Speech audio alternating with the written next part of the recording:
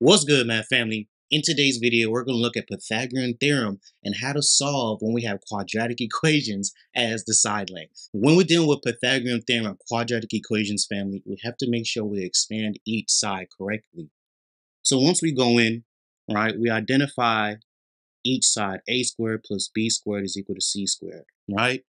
We know this is ab. If we flip those two around, we'll still get the correct answer, but we have to make sure that the hypotenuse c squared is correct.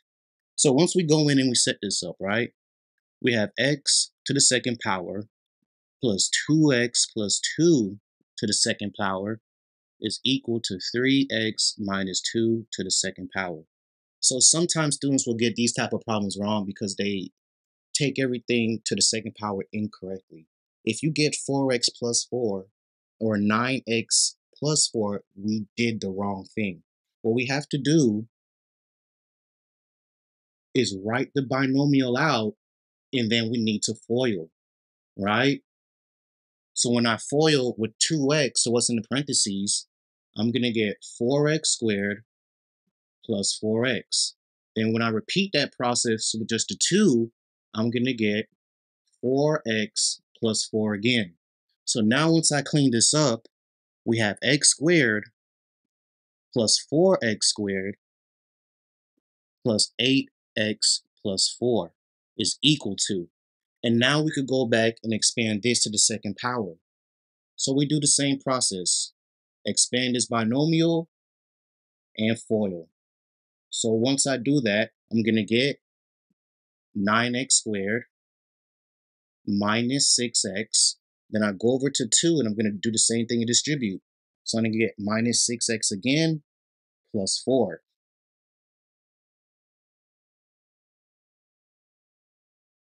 All right, so after we combine these two uh, like terms, this is what we should have.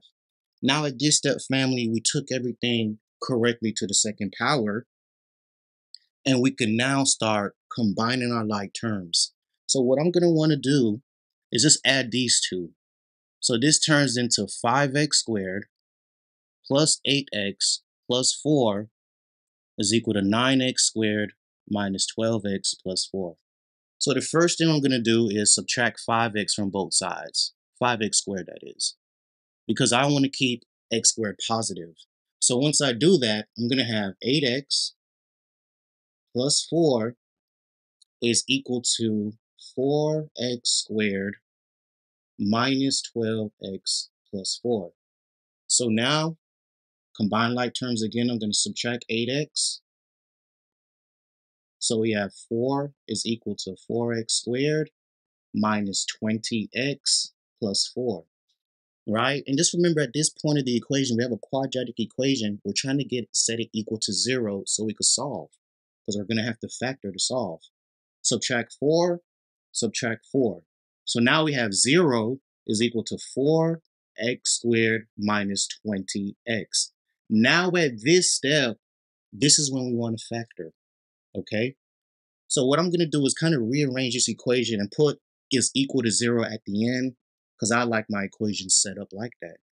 So now, let's switch colors. We're factoring this. So I'm going to take out a greatest common factor of 4x. Once I take that out, I'm going to have x minus 5 is equal to 0. So now we set both factors equal to 0 like a regular quadratic equation. 4x is equal to 0. We know that this is not going to be a correct answer. x cannot be 0 in this instance, right? And when we do x minus 5 is equal to 0, we know x is equal to 5. So we, now we know that x is equal to 5. We need to plug this back in. But before we get there, one major tip. This is another place where I see students make mistakes. So let's say we had something like this, all right? Let's give some space.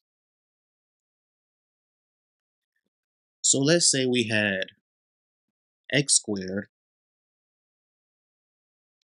minus 2x minus 8.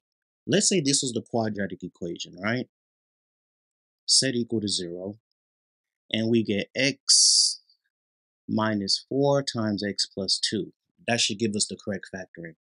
Once we set both of these equal to 0, we'll get x is equal to 4. And then the second factor, when we set it equal to 0, x is equal to negative 2. Why did Mr. Peters bring this up? Because when we're dealing with the side length of triangles, x is equal to negative 2, this would be an extraneous solution because we can't have a side length be negative. So we would have to focus on the positive side length. Didn't happen in this problem, but if it does happen, please be mindful. All right, so now we go back in and we're to substitute. So once I go in, I know that this side is 5 because that's just, that's what x is, is 5. This side is 2 times 5 plus 2. So this is 10 plus 2. This side is 12.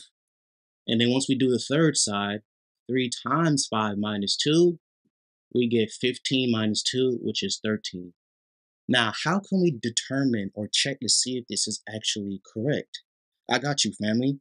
So what we're going to do is use the Pythagorean theorem again, meaning 5 squared plus 12 squared is equal to 13 squared. If this is a true statement, then we know the answer is correct. If not, then we probably have the answer wrong. So we have 25 plus 144 is equal to, I want to say 169, right? When we combine these, let's see, what do we get? 9, 6, 1.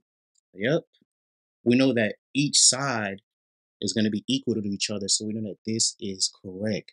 So when you're dealing with Pythagorean theorem and quadratic equations family, this is how you would solve. Don't forget about that extraneous solution or that side that may be negative. We can't have that. If this video was helpful for you, smash the like button for us, subscribe to the channel, and leave comments down below if you had questions on this video or if there's other videos you would like to see on our channel. Thank you guys so much for watching Algebra 1 with Mr. Peters.